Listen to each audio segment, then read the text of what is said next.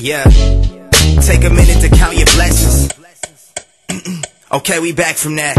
I know I've changed. My attitude's doing acrobats. A lot invested in something that got.